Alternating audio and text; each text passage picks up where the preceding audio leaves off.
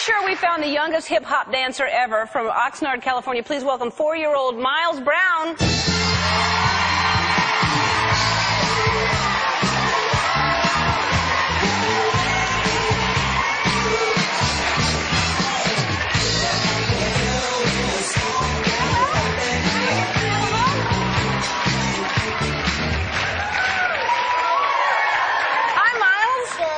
I'm so nice. It's so nice to have you here. Nice to meet you.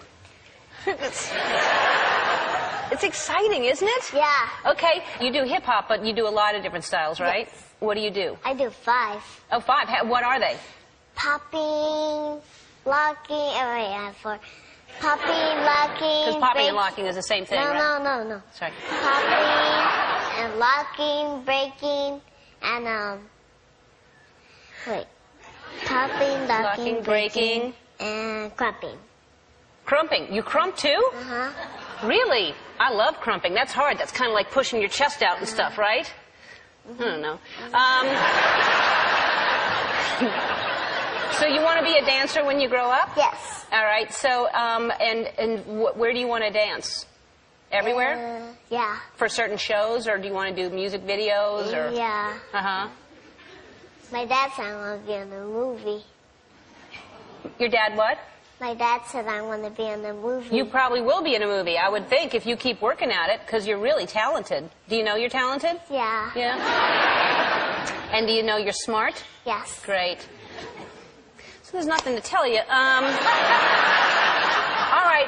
Well, listen. How come you like dancing in front of people so much? Uh, it's because I dance that much because it makes me happy.